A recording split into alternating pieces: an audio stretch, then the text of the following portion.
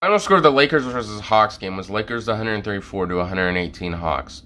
LeBron had 32 points last night. Malik Monk had 29. Honestly, great performance from him. He's probably been playing the most consistent on the Lakers. Russell Westbrook honestly didn't have really that great of a game last night. I, I was looking down the stat sheet last night, and he literally at one point in like the third quarter had like nine points or something like that. He didn't really play that great in my opinion. He could have played a lot better, and hopefully when Anthony Davis comes back, he can start improving and scoring. Because right now Malik Monk's playing better than Anthony Davis is, and I don't know. I don't think that can really be acceptable for Anthony Davis. He has to just step up and play better.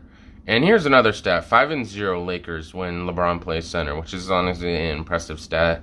Just because every time he plays center, they win a game. 37, LeBron is the oldest player in NBA history to have 10 straight 25 point games. He passes Michael Jordan, who did it at age 34, which is honestly insane. He's 37 already passed when he was 34, and this scoring oldest person have 10 25 point games straight, which is honestly an impressive achievement for LeBron and really making a case for him to be MVP this year. Final score of the Bucks versus Nets game was Bucks 121 to Nets 109. And Kevin Durant had 29 points last night. It seems like every time Giannis and the Bucks play the Nets and Kevin Durant, they pretty much beat them. And this is what Giannis did. The Bucks had three players with 20 plus in their win over the Nets. Giannis had 31 points, 7 rebounds, and 9 assists. Middleton had 29, 20 points, 6 rebounds, 5 assists. And Portis had 25 points and 12 rebounds. Honestly, a great performance by everyone. And here's what someone had to say about the next slide.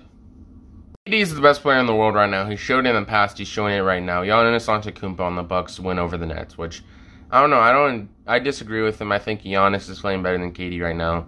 I think he's a better player than Kevin Durant is. He seems to beat him every time they really play, and as well they they won. The Bucks won to go to the Eastern Conference Finals and face the Nets to win the championship against the Suns. Honestly, a great year for Giannis last year, and he's having another great year this year. So I think I think Giannis has been playing better than Kevin Durant. And if you think that Kevin Durant's the best player in the world, I think Giannis is better than Kevin Durant. Comment below on who's the best player in the world.